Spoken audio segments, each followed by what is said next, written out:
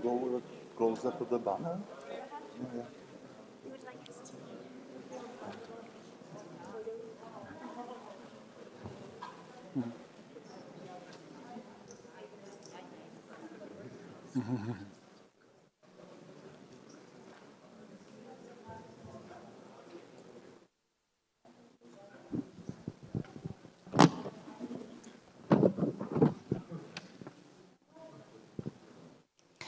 Good evening, ladies and gentlemen, and good evening, everybody who is watching us online.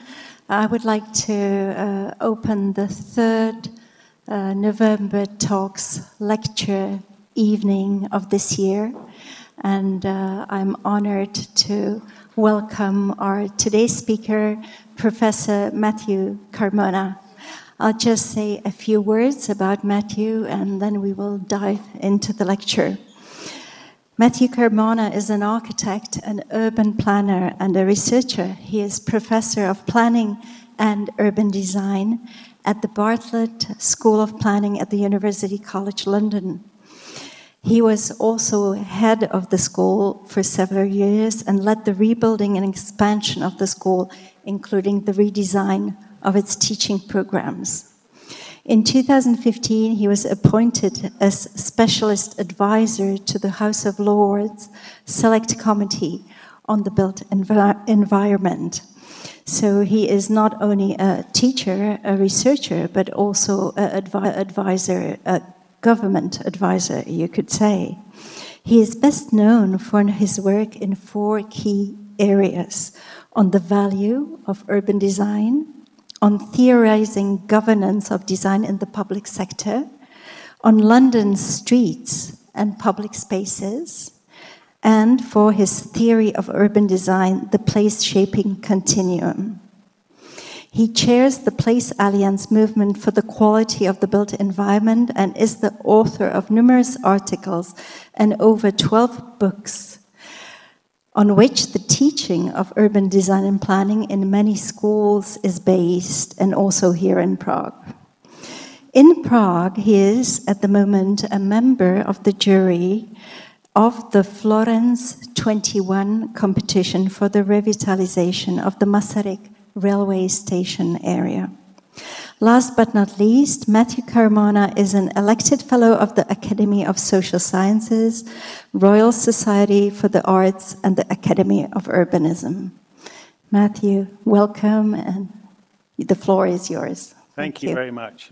And it really is a great pleasure to be uh, here tonight uh, to talk to you about the thorny question of the privatization of public space. And before I do that, I thought I might just expand just a little bit on who I am and, and, and, and what I'm interested in, because in a way, it puts what I then talk about in some context. I've been a researcher for a long time 29 years, it says up there, since I signed up for my PhD a long time ago. And in that period, I've really looked at three key areas. One is what I'm going to talk to you about tonight, which is public space. So, how we as citizens engage with the spaces of our cities and towns, uh, and how those spaces can be designed in such a way that allows us as citizens to lead as good a life as possible in the external built environment. And I'm going to focus on that topic tonight. But I've got two other topics that I've done a, a, lot of research in over the years. One is what I call design governance, that brown circle up there. And that's really about how the public sector, whether it's national government or local government, how they intervene in the development process to hopefully secure better quality design outcomes. And my talk tonight will also focus a little bit on that as well, because it sort of cuts across this sort of design governance and the public space interests of mine. The last one is the value of design.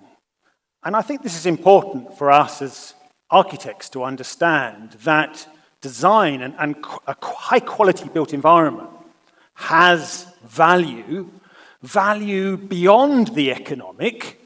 The economic is important. Without economic value, it's difficult for us to design and develop. But it also has value in terms of the social value that a well designed place returns to us as citizens and as society. It has value in terms of environmental value, that hopefully will build places that will stand the test of time and will be kind to the environment. And also health value as well, that actually we could design places that allow us to lead healthier lifestyles. And to a certain extent, my talk will touch a little bit on that as well. But mainly, what I'm going to be talking about tonight is part of my public space agenda. So, focusing on public spaces. Now, questions of public space and who owns and manages public spaces have been debated with great passion for many years, for decades. Unfortunately, this is an area which is more often characterized, certainly in recent discourses, by misinformation um, and dogma rather than by clarity and pragmatism. And sometimes a rather despairing pessimism pervades discussions about public spaces, about contemporary public spaces uh, in our cities. A pessimism situated in, I suppose, a criticism of the neoliberal city, a criticism in particular of the position that that, that, that sort of neoliberal context gives to the market. Um, and almost a decade ago, I started exploring these, uh, these issues and these criticisms, these critiques of contemporary public space, and, and wrote the book Capital Spaces, which was a reflection on the criticisms and an investigation through empirical work. I'll say more about in a second. But many of those criticisms, many of those critiques of public space, really focused around the position that commercial interests have been given in cities such as London, where I'm from, but also many cities around the world, the position that commercial interests have been given in decision making about the future of our built environment, particularly public spaces.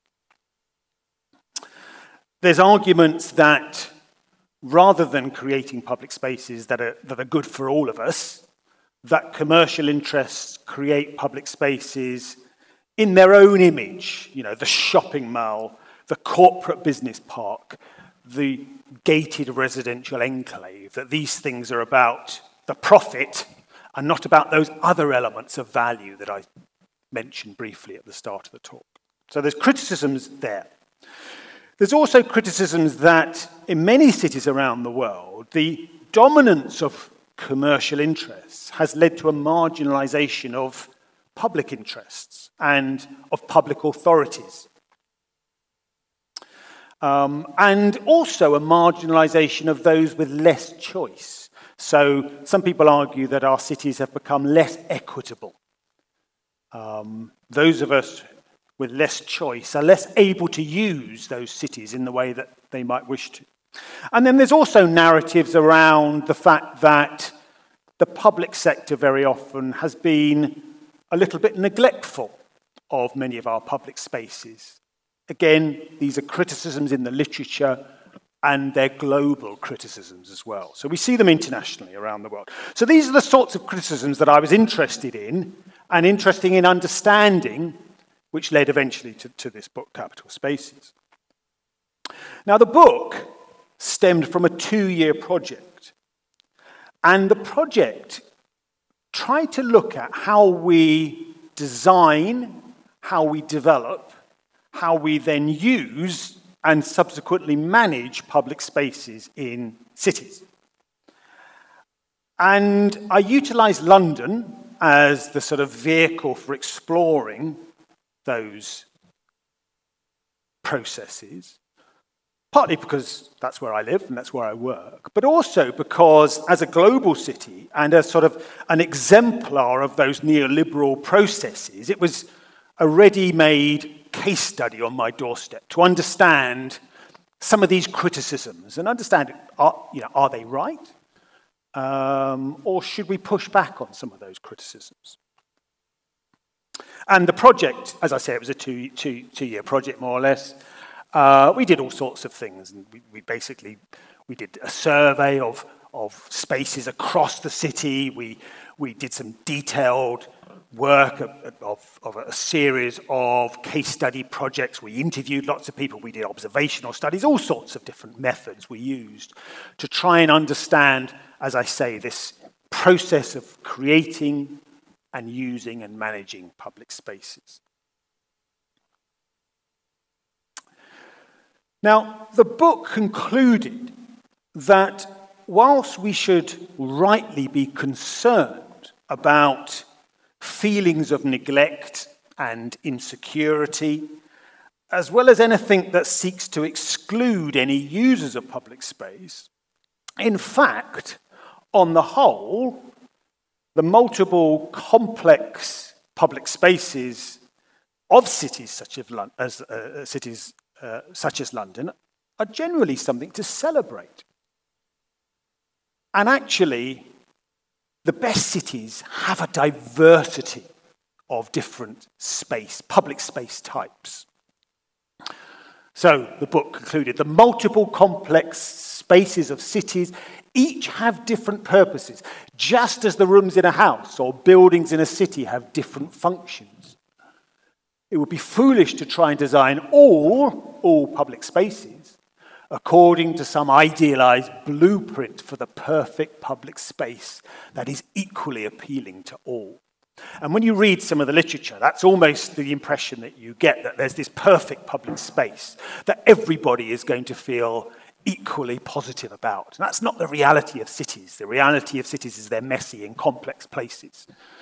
And a, and, and a space that one of you may like, I may not like. And actually, it's the diversity which makes for great cities. So, part of the conclusion, I suppose, was actually it's complex.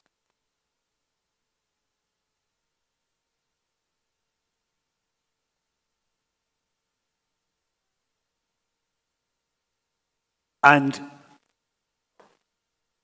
in fact, I suppose we were also writing the book, and I suppose this is 10 years ago now, at a time when in London, like many cities around the world, there was a sort of re engagement and a reinvestment in public spaces across Europe.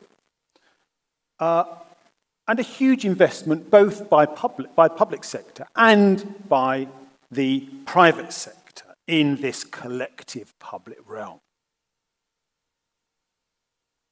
Nevertheless, the most despairing of the narratives that I was investigating at that time was around the so called privatization of public spaces. And this is a narrative that has persisted it's widely written about, and criticisms of public space as being privatized. We, we, we read widely in the literature. And so, a little bit later on, quite recently, I returned to that particular critique, that particular criticism, to investigate it further. Now, what are we talking about here when we're talking about the privatization of public space? Well, we're talking about when ownership and control of those spaces, spaces that we would normally regard as public spaces, in fact are controlled by private organizations, by private companies, rather than by the state. That's essentially what we're talking about. So, a public space, it looks like a public space. Here's one in Prague. It looks like a public space, but in fact, it's owned and managed by a private corporation. Is it public? Is it private? So, whilst I, whilst I focus on London in this talk, in terms of the evidence that I'll present to you, the lessons and I think the analysis are universal. And particularly universal when we look outside of Europe's borders. Because countries such as China, large parts of the Middle East, um, Southern Africa, large parts of Latin America, in particular, are grappling with these questions of the privatization of public space. Now, sometimes these processes are linked to particular cultural traditions, in China, for example. But more often, they're linked to the shutting off of themselves from the rest of society of more affluent groups in society, those who have the choice and who take the choice to shut themselves off from others. And sometimes that is guided or pushed by marketing factors which promote particular models of the city, models that are perhaps more private, more privatized. Um, so those who can afford it can shut themselves off from the rest uh, of society. This particular image is an advert for uh, a particular development in the new administrative capital of Egypt. And countries such as Egypt have a lot of this um, gating off, if you like, of large parts of the city from uh, the rest of the traditional city.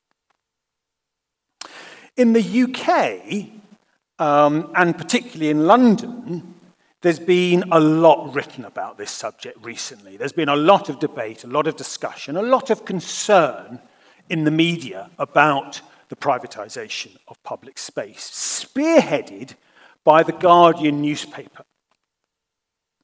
And in particular, a couple of years ago, they ran a series of pieces in which they mapped through London, the centre of London, they mapped all, all the spaces that they identified as privatized public spaces. And they denounced those processes in uh, the newspaper as privately owned uh, and managed spaces. So here we're talking about these sorts of spaces, often sort of quite corporate feeling spaces, rather than some of those more residential spaces like the example I gave you in Egypt. So these sorts of places, like Paddington Basin, for example, or Canary Wharf, has many such spaces uh, of this nature. And the resulting debates that we've had have given rise to quite polemical um, narratives on both sides of the discussion.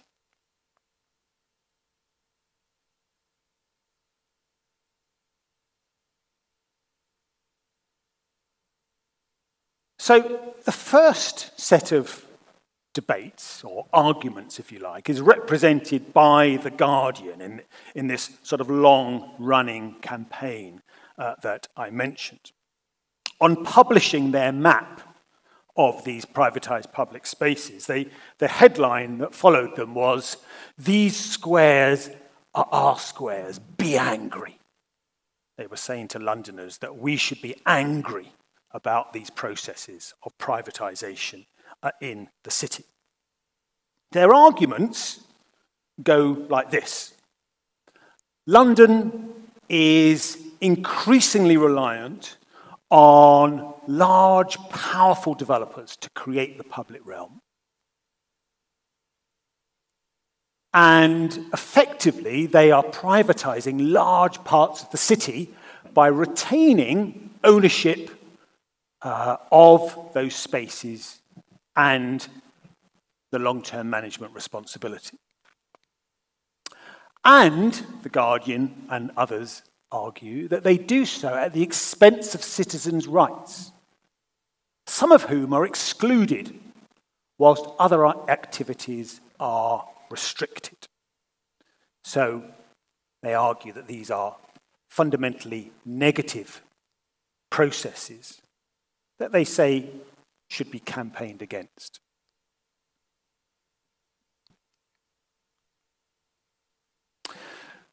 Much more rarely voiced publicly is the other side of the argument, the other polemical position, sometimes voiced by private development interests.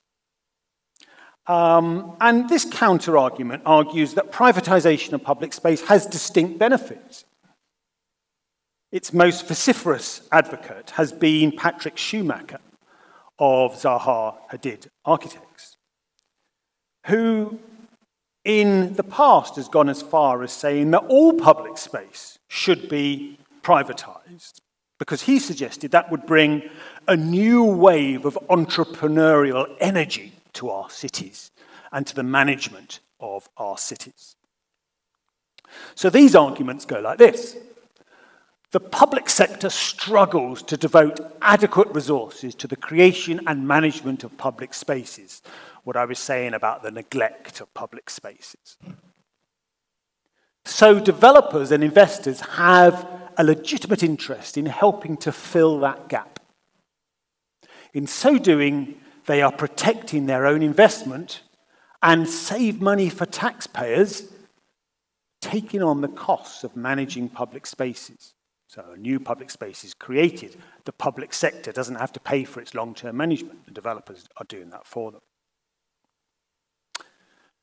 Of course, the arguments uh, are two polemical positions. The reality, I think, is never quite as simple as that, as I'm going to suggest in the remainder of this talk.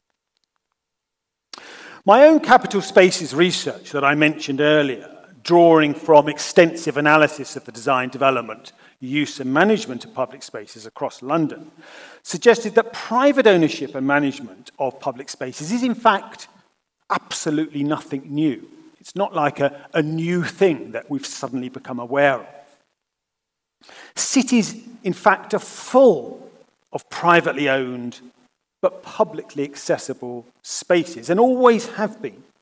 My own university, UCL, if you, if you visit that part of London, is full of spaces like this on the left which are privately owned and managed by the university. The sign is a sign on one of our Bartlett buildings, which actually half of the street, half of the pavement is owned by the university privately. The other half is owned by Camden Council. And when you walk down the street, you wouldn't know you were walking on which, whose ownership you were in. So the, is, these are not new. We've had for decades, perhaps centuries, this complex patterns of ownership and management in our cities. And in reality, the very term privatization of public space is itself confusing because it assumes that once publicly owned spaces have somehow become private in what I've suggested in another uh, uh, talk is uh, or can be equated to a new wave of enclosure. So in, the, in, in England, in the 16th century, there was this movement to enclose the countryside. In country, the countryside, you know, walls and, and, and fences and hedges were put around large parts of the countryside. And the ownership was moved from a common ownership to private ownership. And this idea of pr- privatization of public space can be seen in a similar way. It's a move, it, you know, it, the argument is it's a movement from public to private. Well, in fact, that rarely, rarely happens. And I think in the UK, as across Europe, that rarely happens. And this was confirmed when I started to examine in more detail the map that The Guardian had put together and started to look at the, the spaces that they'd identified. They'd identified 54 spaces that they say were privatized public spaces in the centre of London. And I did this using um, historical overlays, uh, using Ordnance Survey maps, um, to look, at, look back in history at what these places were before the current developments that were being criticised. And the analysis revealed actually no privatisation had occurred. Instead, what we had seen in London over the past three decades was a sort of opening up through redevelopment of formerly private, walled, and gated off parts of our cities. Usually through large scale redevelopment of former docks, uh, former industrial areas, former infrastructure. And so, for example, when I started to interrogate the, the, the, the, data that The Guardian had put together, what we found is that 84% of those 57 spaces um, had, uh, were of that type, that they were of, you know, e- either in industrial use previously or um, former infrastructure. So, not, not public spaces at all, but walled off and gated. The remaining were historically privately owned and managed spaces that, that had stayed in that um, status, if you like.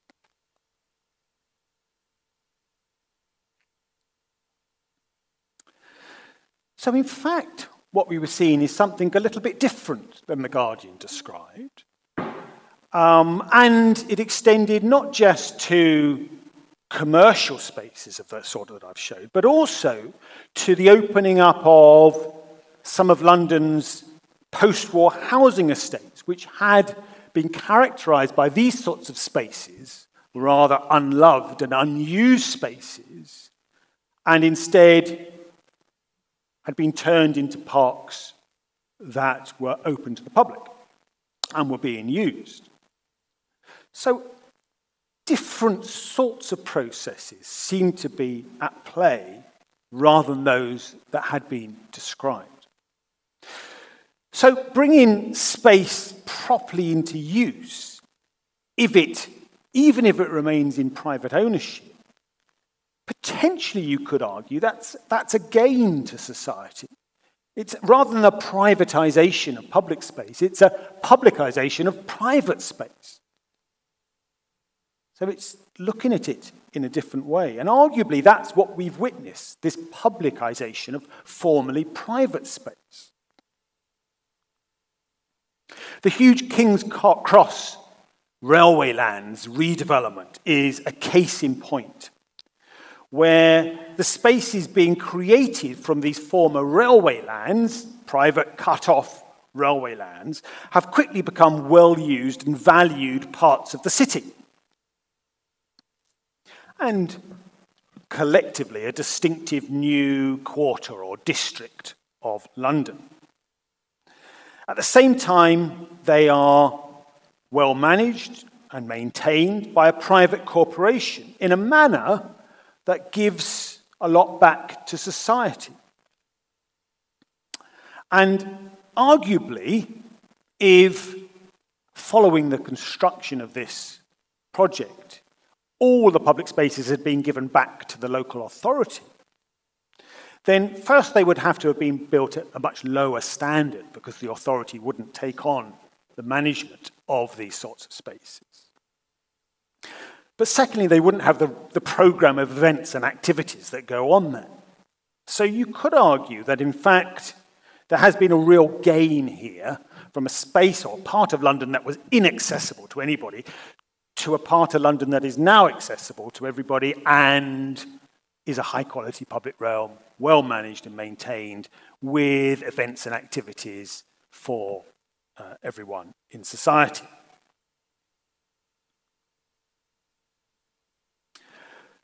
Personally, I would argue that morally and pragmatically, it really doesn't matter who owns and manages public spaces. What matters is how public they are, how genuinely public they are. In other words, what are our rights as citizens within space? And what are the responsibilities to us of those who own and manage those spaces. That's what really matters. And I think we can get stuck on polemical arguments about who owns and manages without thinking actually about what is the real problem here, and that is whether those spaces are properly public spaces or not. That's the real critical issue. Looking at the issue from an alternative viewpoint, many publicly owned and managed spaces are also highly restrictive in their own ways. Most London boroughs, for example, um, have extensive lists of bylaws that restrict what you can and can't do in key spaces around uh, the city.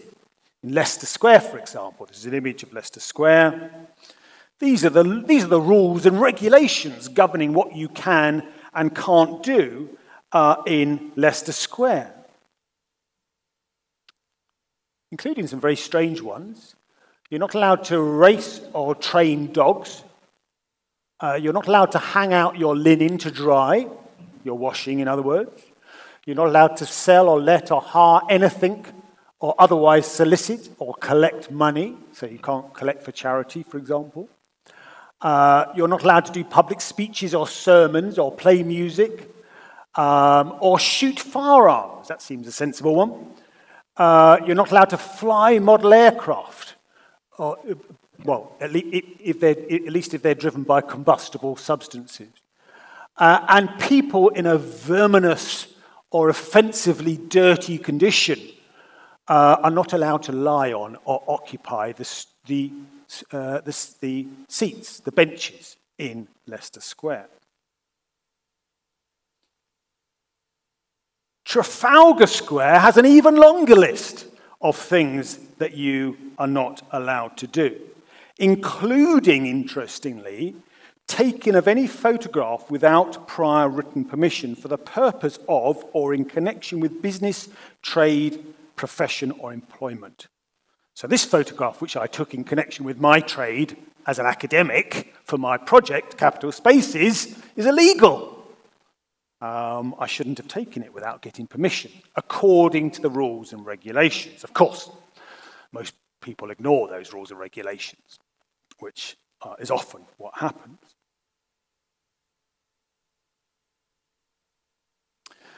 And of course, many spaces, many publicly owned and managed spaces have no such restrictions, have no bylaws that affect them. It's not everywhere that has such bylaws, but some places do. Others don't have any. And then the test is simply that you're free to do what you want to do within the law of the land, but the key test is nuisance. Are you causing any nuisance to anybody else?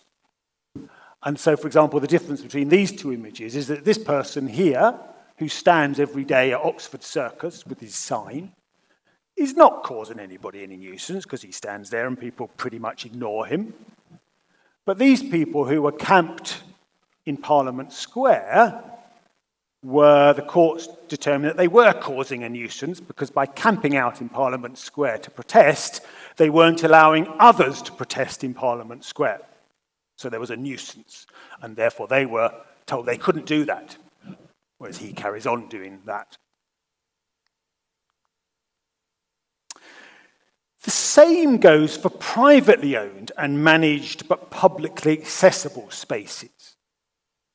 Some of these privately owned and managed spaces have needless, petty restrictions on their use, such as taking photos. This is me being told off for taking a photo, actually, of him uh, a security guard in this space as part of my capital spaces research. So this was about 10 years ago, I was told off. Interestingly, this is a space right outside the town hall of one of, London one of London's boroughs, Tower Hamlets. In London, however, um, one of the most active and vibrant public spaces in the city is the walk along the south bank of the Thames. And here, spaces brim with economic and social exchange of all different types. But as you walk along that route, you're going through a hodgepodge of private and public ownerships. And you never really know when you're moving from one to another. And that, in a sense, is how the best bits of the city work. You don't really know who's responsible for the bit you're in. And you can pretty much do what you want as long as you're not causing anybody a nuisance and you're within the law of the land. And we can find similar situations uh, across the UK, and some public spaces are owned by institutions, whether it's universities, churches, corporations and businesses, charitable trusts, um, and the vast majority of spaces in a city like London are still owned and managed by the public sector. All, I would argue, have a role to play in this diversity of cities.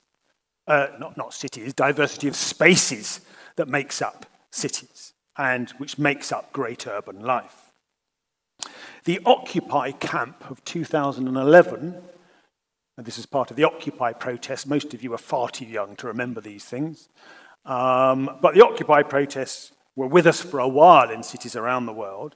And it just so happened that this one located itself on a piece of land that was privately owned and managed, owned by the Church of England. And because they were on that, they, they, they were able to stay there for months and months. Because the Church of England, England decided they didn't want to uh, get an injunction to get them moved. What detracts, I would say, from our experience of public space is when spaces that should be open and unrestricted and free to use for various reasons are not. And when such spaces are publicly owned and managed, then very often we can blame the overzealous instincts of many of our regulators who um, sometimes try to restrict things when there's no good reason necessarily to restrict things. Um, they think it's perhaps safer to try and restrict things than not to, to restrict things. This is a sign that was put up on a street just around the corner from where I was living a few years ago, um, which says that no, well, you're not allowed to do various things, including spitting. I've never ever seen anybody spit on this particular street or any street in the neighborhood that I live. So, why we needed a sign to tell us not to spit, I don't know. The sign to me was more offensive than the act of seeing somebody doing it, which I never did. And sometimes we have, there's an instinct to try and prevent things, try and stop things happening. By the private sector as well. This is a sign in a space in the City of London you're not allowed to smoke or eat or drink or sit in this space. Clearly, an overzealous owner and manager of that space trying to stop people doing things that you would think normally you'd be able to do in a public space uh, in a city. So, whether public spaces are publicly or privately owned and managed, we should, I think, oppose all needless, petty restrictions on what we can and can't do, unless there are very good reasons for those restrictions to be put in place, which arguably and very often I think there aren't. And so I've argued, really ever since we published Capital Spaces, that what we need in a city like London is a charter of public space rights and responsibilities. A charter which sets out for public authorities and private organisations what are our rights as citizens and what are the responsibilities of those who own and manage spaces towards us. And critically, the point at which this charter should apply is the point at which through regulation, we give permission to development to happen. Because as soon as something is built, it's too late to change it. So at that point, you're giving permission. In England, it's called planning permission.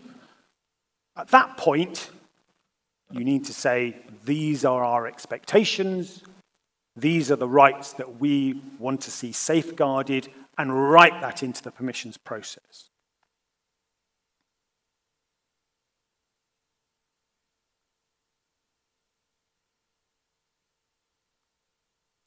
Now, such a charter should, as I say, form the basis for whatever the system of development consents is in whichever city we're talking about. And it should incorporate, I would argue, all new and refurbished public spaces, regardless of ownership, regardless of their type. In other words, it would apply to all urban spaces, both existing and those still to be built, that a reasonable person would regard as public, whether privately or publicly owned. This would cover all spaces that during daylight hours are usually open and free to enter. So, whatever the nature of the space is, if most of us, as reasonable people, would regard it as public space, when we're looking at it, we think that's a public space, then it should be open and accessible with our rights and responsibilities safeguarded. And so a few years ago, I wrote and put out there a straw man charter of rights and responsibilities, a straw man charter being just a thought experiment of what such a charter might look like. And this was it. That's it. Not very long. More important than the wording of this charter is the principles underpinning it. And the principles are that with rights comes responsibilities. That if you want to have permission to own and manage a space, you have responsibilities to those who are using it. But also, us who are using that space also have responsibilities to each other and to society. Principles should apply regardless of ownership. Doesn't matter if it's publicly owned or privately owned and managed, the principles should apply. It's about safeguarding freedoms, not restricting behaviors. So there's this mentality, I think, that we've got to restrict things that we don't like. Whereas, in fact, we'd be better off spending our time trying to safeguard all the things that we like people going out and using and engaging with each other in public spaces and so forth. Keep it simple. Don't control more than necessary. Doesn't need to be hugely complicated document. And keep it clear so that it can be understood by everybody, not just built environment professionals.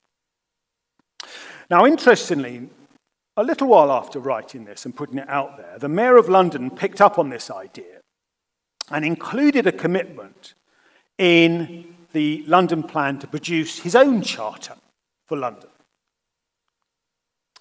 In the, uh, in, in the London plan, which has just been adopted. And that charter was, after some time, about four years or so, uh, written and adopted. And that is it, slightly, slightly longer than mine. Um, and it more or less incorporates some of the principles in the straw man charter that I put out there, although it's a bit more generic in terms of its principles. Um, guidance rather than prescription. So local authorities and developers don't have to follow this charter if they don't want. And I think that's perhaps problematic. We've yet to see how effective it will be. It's only recently been published. Um, I would have argued for something that was more prescriptive, more tied to the permission, so that actually developers uh, and others had to follow the principles in the chart. That's not the direction that the Mayor of London's gone down. So we'll see how effective it is. Myself, I had the opportunity to put some of these principles into practice. Um, we're working on, oh, with the London Borough of Wandsworth who approached me after seeing a presentation similar to this. Uh, and they approached me to say, could I work with them? And the five developers, plus the American Embassy and the Metropolitan Police, who were involved in the largest regeneration project in London at that time, and still, which is the Nine Elms development on the south bank of the Thames. And in the heart of this development was a linear park. And that linear park goes through the ownerships of five different developers and the American embassy. So each of those developers, ultimately, when it's built, will own a bit of this. And Wandsworth were interested, the London Borough of Wandsworth were interested in ensuring that it was appropriately managed. But also the developers were interested in that as well, because if you own only a part of something, then your investment is affected by how your neighbouring developers manage their bit. So there's a sort of interest between the developers, as well as between the developers and the public sector, in ensuring that the park is properly managed in the public interest. Anyway, the work that we then did started off with a round table to discuss, and we started off with the straw man charter. There's that text that I briefly put up on the, on the, on the screen. That was our starting point, and we had a, around the table, we started debating those principles, deciding which were appropriate uh, and w- which were not. And actually, it was almost the easiest commission that I've ever had because pretty quickly, all the developers pretty much agreed with almost everything that was in uh, that charter. Certain things were tweaked and changed, but most things were agreed upon.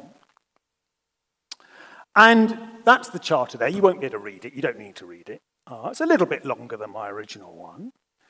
Um, and this charter will form part of the management plan for this park, which will be owned by a company owned collectively by all of those five developers, on whose board will sit the local authority. So one, the London Borough of Wandsworth will sit on the board to ensure that the charter is properly implemented.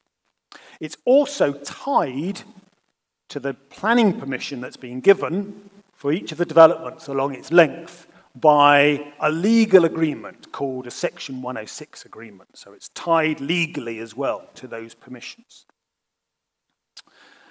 And of course, the local authority didn't want to take on responsibility for the park because, well, public sector in the UK is always strapped for cash They've never got enough money to spend on all the things they want to. So if somebody else will pay for things like managing a space like this, then they would argue that that is a good thing. But as long as they can ensure that those rights are guaranteed, and that's where the Charter came in. It will be publicly visible to all park users, online and physically, dealing with one of the issues that The Guardian in particular identified that very often you don't know who's responsible for a place. And so if you're challenged, if somebody says to you, you can't take a photo here, you want to know under whose authority do they say that? And how do I challenge it? And so that needs to be very clear as well. The Charter itself is written in positive language throughout, encouraging rather than discouraging behaviors. So everyone is welcome to use the park, and it says that explicitly. Very little is prohibited. Just three things are prohibited. One is lighting fires. You can't light fires in the park. The second is you can't camp in the park. And the third thing is you can't park in the park or drive in the park. So those three things are prohibited. Everything else is not prohibited. And clear responsibilities are set out for all parties, including instructions for what you need to do if you want to do something which isn't specifically listed. So if you wanted to hold a big party in the park, you can do that, but you need to go and uh, get permission for that. And there's instructions of how to do that and what the process is. So, in this way, what it's designed to do is protect the public interest whilst at the same time trying to protect the private interests of those who live around the park, because lots of people will be living around looking over the park, and they have interests as well. So they want to live in a place that most of the time is reasonably peaceful and quiet and, and, and so forth. As well as the American embassy, which is based on the park, which has particular security issues. So, charters at a citywide or local scales, of course, are just one way of dealing with these questions of ownership and management.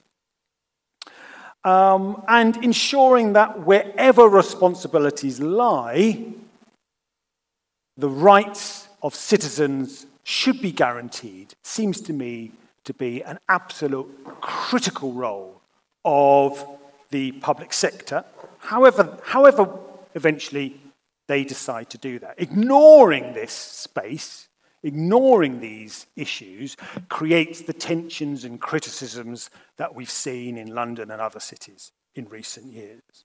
So, cities are diverse places. Diversity is in their nature. Um, it's their essence. It's the essence of great cities is diversity. And I would say we shouldn't restrict them or their public spaces into one size fits all uh, design and management approaches just for narrow political or dogmatic reasons. So, those dogmatic arguments I started off with, I wouldn't favour either side of that debate. I think there's, as I say, it's more complex, it's more nuanced.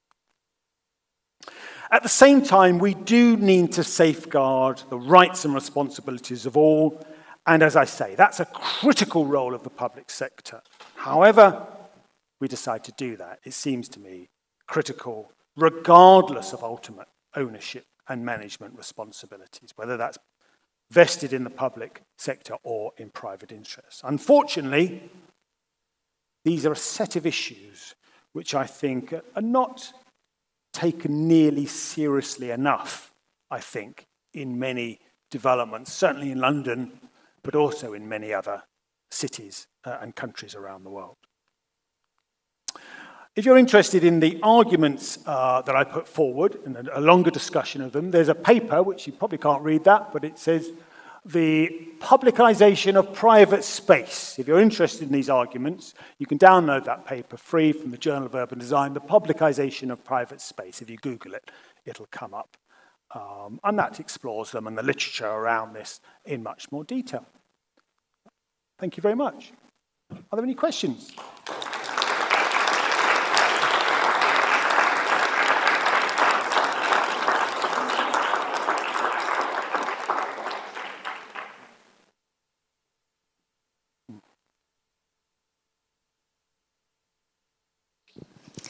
Thank you very much, Mathieu. And let's hope there are a few questions. Uh, I think uh, Katka is looking online if there is anything.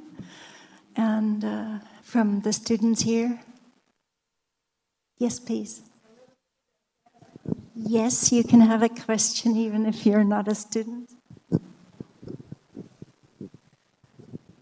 Thank you for the lecture, Professor. I was wondering if, uh, when you were debating about the Elms Park, was it? Uh, was there any discussion on not only the rules and regulations, but also the enforcement of them. Because uh, I think one thing is whether there are rules, and the other thing, if there's anybody who is enforcing the behavior or controlling the behavior or checking the behavior. Could you talk a little bit about that? Thank you.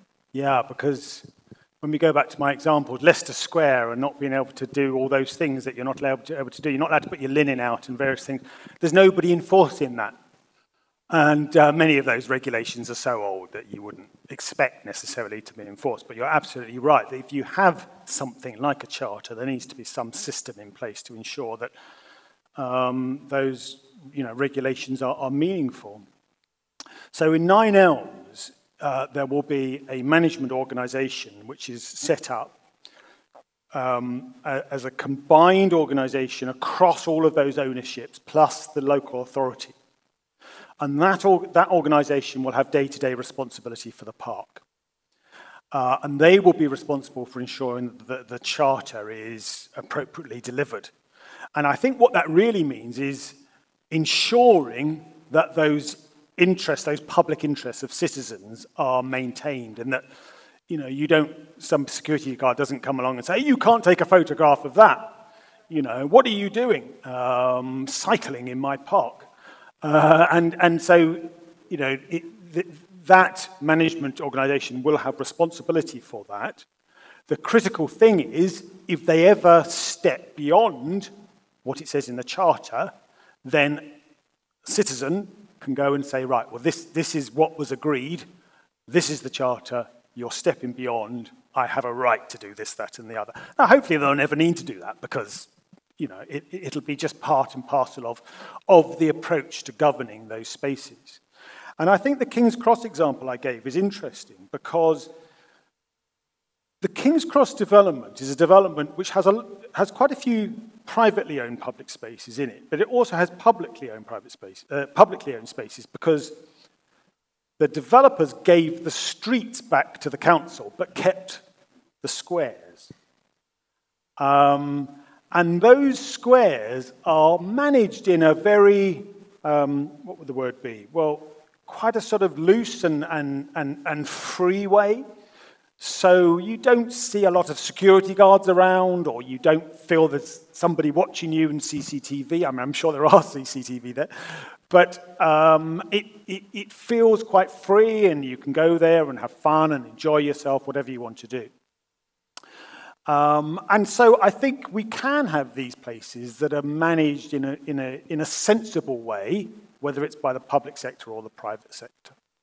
Um, but in Trafalgar Square, that I also mentioned, there are particular, I don't know what they're called, wardens, I think they're called, whose responsibility is, it is that you're, you're not allowed to do, well, you, you, shouldn't do, you shouldn't feed the pigeons, for example, in Trafalgar Square, and they do stop you if you feed the pigeons. You shouldn't, you shouldn't go paddling in, in, in the fountains, which seems a shame, but apparently that's part of the regulations. Um, so, yeah, so in Trafalgar Square, they have these wardens there. I, I don't, I think that the regulations there go too far. But you're right, you need somebody to, to do that. Has there been any change during the COVID period? Because your research started definitely before that. In the what? So during the, the period of the COVID. Okay. Oh, um, well, I, I, I, don't think there's been any change in terms of necessarily the agenda that I've been talking about, this, but there's certainly been change in terms of the way that people engage with spaces in the city. Um, and we've seen, you know, like everywhere, I suppose, restrictions, temporary restrictions being put on how people can use uh, the city's streets and spaces, particularly high streets, shopping streets, and so forth, have been restricted in terms of where you can walk and, and all those things. Um, hopefully that's temporary. Many of those restrictions really have been removed now, whether they'll, with the latest up flare, I don't know, things may, be, may come back. Um, we've yet to see. But yeah, certainly people's engagement and, and relation to public space has changed a lot in that period. I remember in the middle of the first lockdown we had in London, going into the centre of London, going to Trafalgar Square in the, in the middle of a, a Saturday. And I was there and there was two cyclists in the middle of Trafalgar Square, which if you know Trafalgar Square is normally absolutely full of tourists. And so, yeah, it was, our relationship with public space changed, but I hope not permanently. Questions from online. This is always tricky because they write it in Czech and I have to. No, it's in English this time. Thank you for whoever wrote it. So, do you see any specifics of these issues in Prague given your engagement in the Florenc 21 jury? Well, um, I think these are issues that Prague, like any city, should be thinking about. Um, I put up on the screen a space which I think is privately owned and managed, but you might tell me it isn't. Um, and I, I think the city will have spaces like that and will have more if the Florenc development is built out. And so these are things that the city should be thinking about, I think. Um, now, whether it's a charter or whether it's some other approach, I don't know. What would be the right approach here? Every city obviously has to make its own decisions. But I think, um, you know, if a city is not thinking about those issues when the permissions are given, then you can't change it later. So if a, if a space is not managed in a way which is good for society, then it becomes very difficult to change it later without some sort of national legislation, which you know, almost never happens. So I would say Prague should be thinking about those issues, but I should say every city should be thinking about these issues. And very often they don't. You know, it's, it's, only very recently in London that we've started thinking about these issues. And partly because, you know, The Guardian, I don't necessarily agree with all their analysis, but the, the really positive part they played is in getting the debate going mm-hmm. and getting these issues on the public consciousness in the public agenda so, so that the mayor became interested and started thinking about it and so forth. I think with the charter, definitely suddenly the privatization of public space uh, goes under a different viewpoint. It, it changes uh, the, the sort of the approach to it. it. It, it. became something very negative, and suddenly you're showing also the positive side of, yeah. of private public space. Yeah, so I'm coming back to the Florenc example. Of, I mean, you know Florenc now. I'm part of the city here in Prague, and you know, it's not an area that has many positive public spaces. It's, it's, it's dominated by infrastructure and uh, buses moving to and fro and, and, and all things which need to happen in cities, but it could be somewhere so much better. And, there, and, and as part of that process, I think we need to think about these issues. There was a question up there.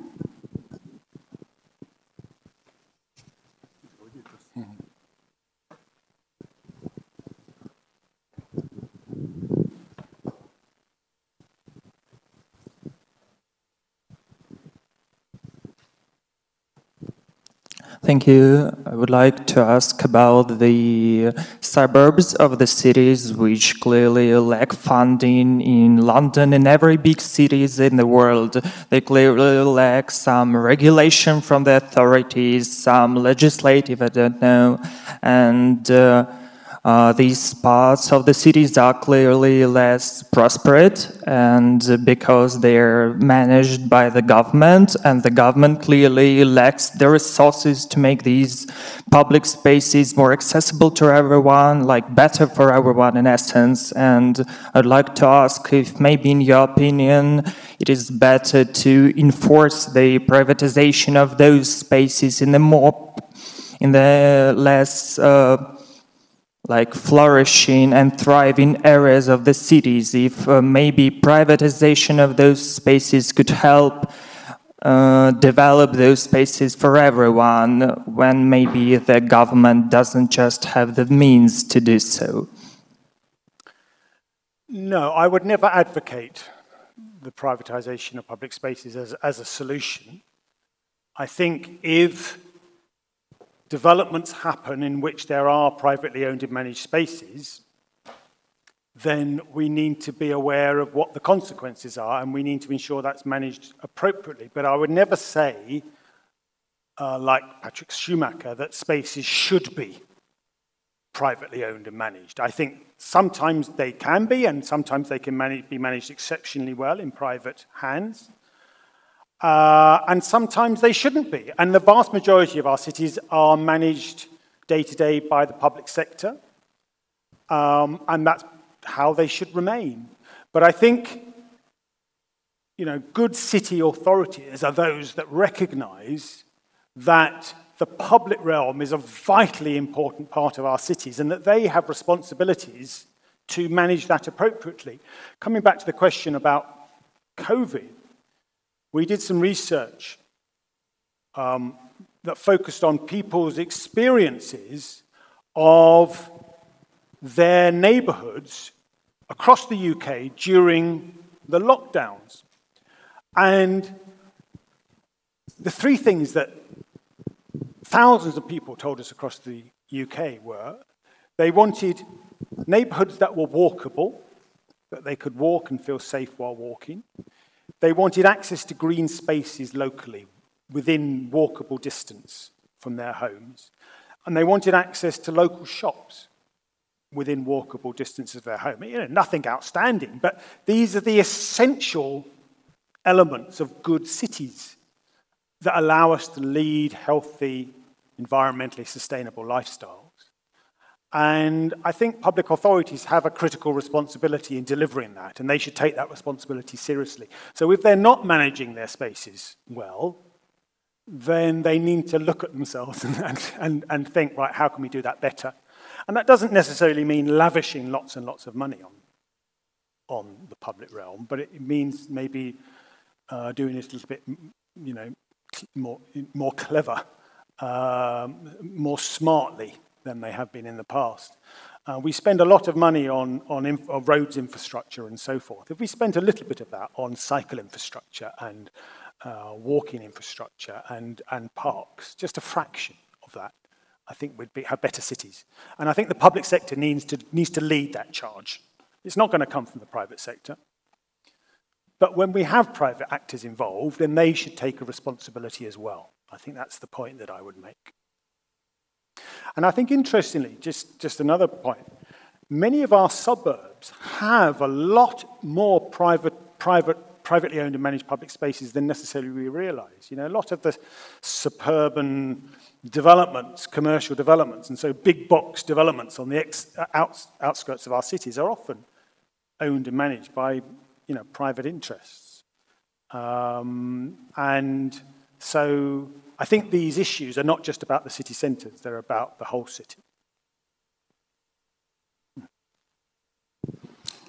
Any other questions? Online again? So there's a question. Um, is the term that you're using, publicization, isn't it a big, a bit exaggerated?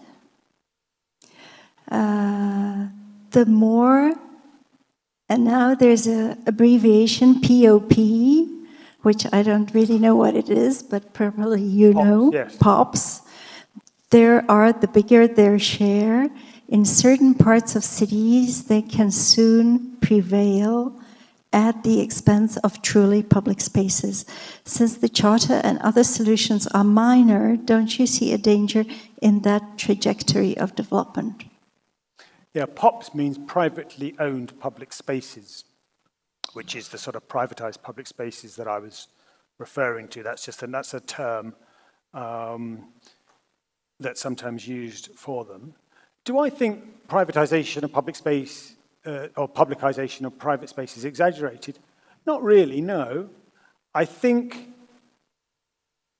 inevitably there's a bit of exaggeration in this because there's a bit of exaggeration in the other way. You know, when we're talking about privatization of public space, I think that's an exaggeration because, in fact, we're not really talking about privatization of anything.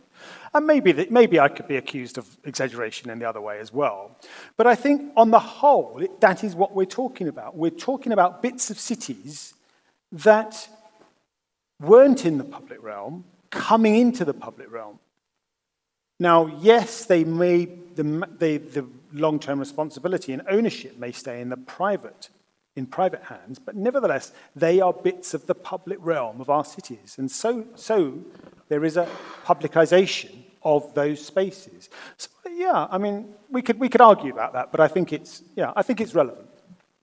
Thank you. I had a question back to COVID.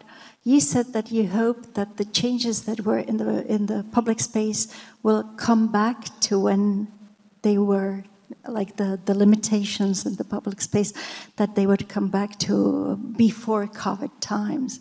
But when uh, I visit uh, Paris quite often, and uh, it changed completely during this year and a half. And uh, I think the mayor, Annie Hidalgo, just took total opportunity of the problem, and uh, nearly 50% of many streets are now separated from car, car traffic and handed over to, to the sort of what, what we call the micro traffic. Cyclists and, and scooters, little scooters, etc. Hmm. And this change, of course, was done for COVID because the, the people needed to move and they, they, they didn't want to have them clamped up in buses and in public transport. But it seems to be something which is going to stay even in the future hmm. calming down the city in this way. So, do you see a difference between the, the approach in Paris and the approach in London? No, I mean, I think that sounds like a very positive experience. Um, and yeah, I think there, there will be positive things come, comes out of the whole horrible COVID experience. Um, and one of them may be that we re- reacquaint ourselves with the joys of neighborhoods that we can walk to shops and so forth, like I mentioned previously. Um, and of streets which are not dominated by traffic. And if, if, that can come out of it, then that's excellent. I suppose what I was referring to was I hope that we will be brave enough to return to public space. Because I think we went through a period, and we're still there to some extent, where people are still shying away from public space. If you go to the centre of London now, and probably Paris is the same, um, it's, it's not nearly as lively as it was pre COVID. People are still working from home a lot, and that's going to stay. That's, you know, technology is with us, that's going to stay. Um, tourists are not coming so much.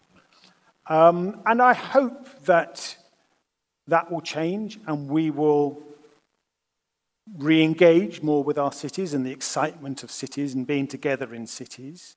But also, it means different cities. So it means not necessarily doing all the things we were doing before. So people are not going to necessarily be commuting into work five times a week in a city like London. They may go in once or twice. And then the city needs to reinvent itself a little bit. It needs to say, right, well, what, what are we going to do with all this surplus space in buildings as well as in public space and how are we're going to use it? So I think there's going to be a reinventing process, but hopefully also as part of a re-engaging process. I suppose that's the point I was trying to make. Uh, you're in the jury of the Florenc 21, and one of the big problems there is the Magistrala, the artery road going through the center of Prague. And uh, you probably know that we have something like maybe 30 years of discussions what to do with it, with many idea workshops uh, being placed there. Uh, what's your opinion of that road?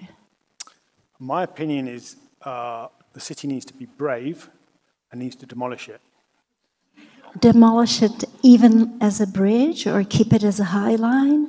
Well, I would, I would demolish it altogether. I mean, clearly, at some point, it needs to get across the tracks and so forth, and, and, and so there's, there's complexities here. I'm being oversimplistic. But I think for much of its length, it doesn't need to exist as a structure, as a thing. It could be uh, down at grade level. You can still have uh, a road, uh, hopefully reduced in volume and the amount of traffic using it. But I think it could be down at grade level rather than up in the sky. I think high lines are all very well if they're in the right place and of the right sort of infrastructure. I think generally, whatever it is, six lane motorways probably won't make a particularly good high line. Uh, it'll still be a very unattractive thing that still needs, still cost a lot to maintain and manage it. Much better to bring the traffic down to grade, is my opinion. Thank you. Any other question? As you can see, you can even ask local questions, not only general questions. But when you ask a local question, you have to be ready just to ignore me because I'm probably talking absolute nonsense. I would like to ask uh, about uh, your chart also tackle the problem of uh, behavior data collection because uh, this is uh, typically in the United States that the privatization of public spaces are sometimes also uh, the motive for that is somehow linked to the data collection and uh, also the control by closed circuit uh, TV and other sensors. Thank you. Yeah, so So the argument is that increasingly in our, smart cities, there's a lot of data that can be collected about us and about our use of public space, and does that need to be controlled? Now, this is not something that we dealt with in the Nine Elms Charter because there's no intention to gather that data. Um, it is something interesting that is dealt with in the new, in the principles of the Mayor's Charter, the London-wide Mayor's Charter that I briefly flashed up um, that there needs to be uh, I, I, can't remember how he words it, but I think that, you know, that to people's data privacy needs to be appropriately safeguarded. Um, so that would be images and CCTV. It needs to be destroyed after a period of time. Uh, it would be uh, a ban on, on, on collecting uh, data of people's movements or facial recognition software and those sorts of things. So there's lots of new technologies that are coming on stream, and I think we have to be very careful about how we regulate those, because I think they do need regulating that, you know, that, you know, Google doesn't know absolutely everything about all of us all of the time um, and can use that for various commercial purposes. And we need to be careful about that, I think. But there exists something like voluntary data collection, not only, not only supervision over the space, but that, that people themselves are voluntarily collecting data that they uh, hand over to, to, yeah. to know if the city is working the way it should work. Yeah, I think if somebody you know, if somebody voluntarily gives their data to whoever, whichever company it is, then, you know, absolutely fine. You know, that's, that's their decision, of course. But I think there's a distinction between that and, and data which is gathered involuntarily. And certainly there are examples in the States where, you know, there have been bits of cities planned, I think, don't think always delivered, but nevertheless planned, that would collect a lot more data on how we use those bits of the city. And I think that starts to then create all sorts of questions around our privacy and so forth, which I think, you know, there may be benefits from that. Um, but I think we need to have that debate in society, not, not just accept it, if you like, uh, and then suddenly it's there and we're trying to do something about it. You're working in the academia, but a lot of your work is connected with governance and politics. You're sort of filling the gap between the politics and the, and the research which in fact I don't think anybody is doing really in my country as far as I can see your type of research. Uh, what, how, how would you characterize this position that in fact you're, you're doing research like academic research, but then you have to hand it over and, and try to implement it in some reasonable way? Yeah, I've always been interested. I mean, I'm an architect by background. And I suppose I trained to be an architect because I was interested in changing cities. And therefore, I suppose I've just brought that into my academic life that I, you know, when I do something, I'm quite interested in exploring how that might be usefully used. And, you know, not all my research is used. A lot of it is ignored and nobody ever reads it. Um, but from time to time, you do something that somebody finds interesting and if they use it, then that's great. And that seems to me a positive thing that academics can do, and I've always been quite interested in doing. Well, definitely the charter, the charter of the strawman, seems to be uh, in the right place at the right time. Yeah, I hope so. I hope so. It Thank certainly you. seems to have had an impact so far. So. Well done. Last questions?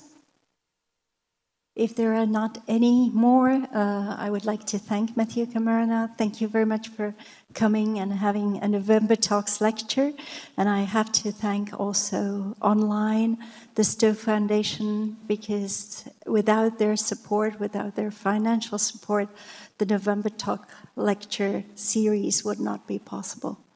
So it is every year, sixth year in a row, and we're part of several European universities mm. that are having the lectures more or less at the same time. Fantastic. Thank you very much. Good night. Thank you.